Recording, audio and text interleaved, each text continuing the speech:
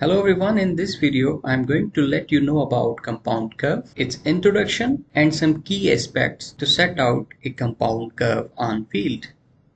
So let's discuss about compound curve first.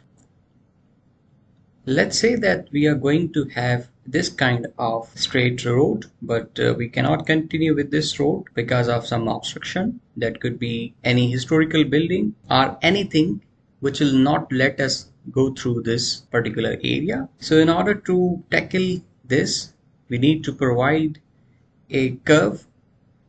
Up till now, we have the knowledge of simple circular curve, which have constant radius throughout the length of the curve. Like this is a simple circular curve like this, which have constant radius of R1.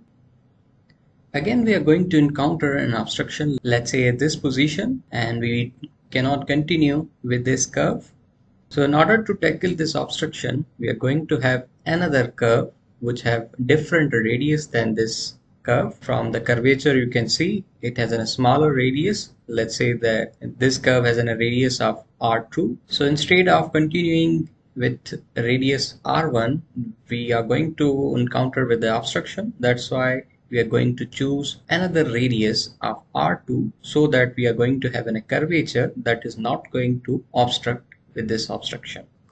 So by doing this way, we are actually bypassing this obstruction. So now as a whole, from starting to the end, we are going to have uh, one curve which is called compound curve. So compound curve is actually a curve that consists of two or more arcs with different radii. Like in this case, we have two different radius. Combining them together, we are going to have a compound curve we could have uh, multiple radii. We could have three radii. But in this case I have shown you the two radii only. So this is one kind of example of compound curve. There could be multiple other type of compound curve as well. Now let's discuss about some basic notation in compound curve. Let's say this is a back tangent we are going to have a curvature and uh, for this curvature this would be the forward tangent and this will be the deflection angle for this curve and this will be the radius of this curve. I have written as rs as short curve. Let's say that the start point of the short curve is represented with t1 end point with t2 and there is another curve having radius greater than that of the previous that is rl large curve. And this will be the forward tangent for this large curve and the forward tangent of the short curve would be the backward tangent for the large curve. And this will be the end point of this large curve t3 and this is the angle deflection angle for the second curve. Because of having different radius we are going to have the different deflection angles. So if this angle is deflection angle 2 this will also be deflection angle 2 the opposite angles. So if we extend this line and uh, extending this line we are going to have a point where this back tangent and this forward tangent are going to strike. And if we talk about the total deflection angle so this will be actually the addition of deflection angle 1 and deflection angle 2 this can be seen in this sketch as well like uh, this is the deflection angle 1 and this will be the total deflection angle. So if we add them together we are going to have the total deflection angle.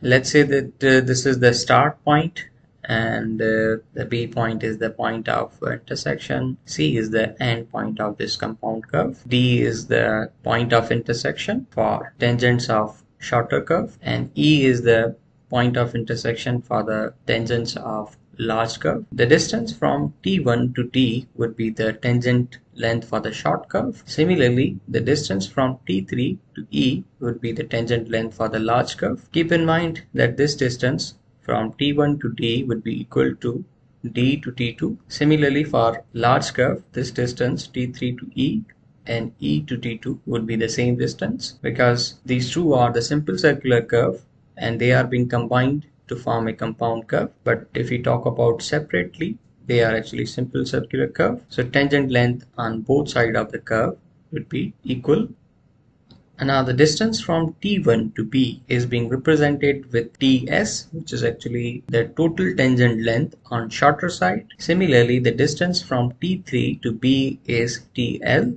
total tangent length on large curve side. So as a whole, this AB is the rear tangent for this compound curve and BC is the forward tangent for this compound curve. DE is the common tangent. The phi angle is the total deflection angle between rear and forward tangent for the compound curve. Phi 1 is the deflection angle between rear and common tangent. Phi 2 is the deflection angle between common and forward tangent, this angle.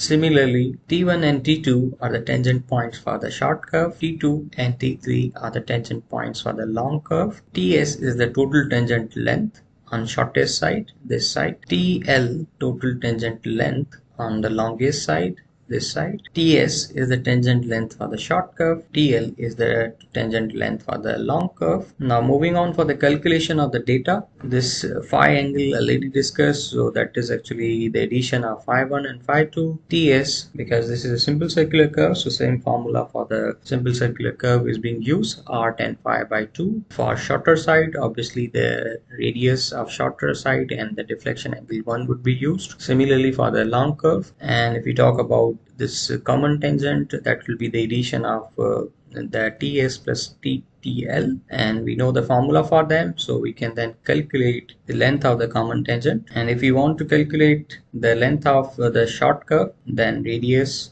of short curve and deflection angle 1 would be used. Similarly if you want the length of long curve then radius of long curve n phi 2 would be used. What else total tangent length on shortest side how that can be calculated? That can be calculated by adding dt1 and this bd distance. Dt1 is ds but how about bd how can we calculate this bd distance? So this bd distance can be calculated by considering this triangle where these two angles are known but this angle can be calculated. If we know the total deflection angle 180 minus phi. Then by considering sine law, we can determine this BD distance because this T distance and this is known. So then we can calculate BD by considering this and this side. So on simplifying then BD would be equal to the equation in terms of DE and we know the formula for DE. So then BD can be calculated. So the final formula for the TS, the total tangent length on the shortest side would be in terms of phi, phi 2, the length of common tangent RS and phi 1.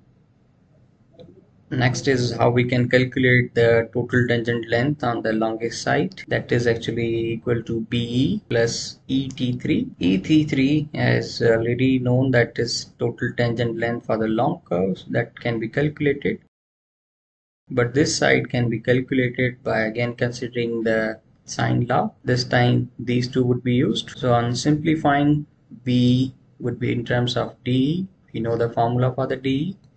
So then the final formula for the total tangent length on longest side would be this one. Again the same variables as that we had in ts now in the last if we want to set out a compound curve. So setting out could be done by any method you like, but the most commonly method is the deflection angle method.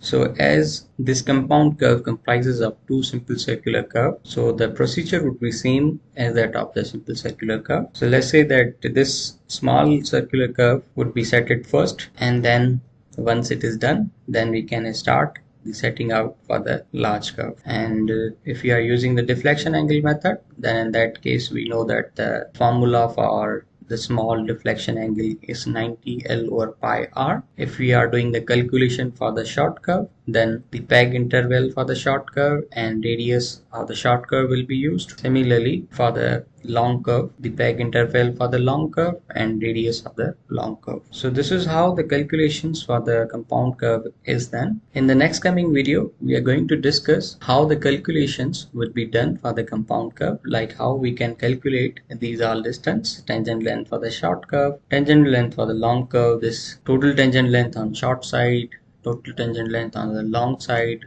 how we can calculate the chainages at the different points and how we can set out the compound curve. So this is all from this video. I believe now you have got the concept about the compound curve. Thank you for watching this video.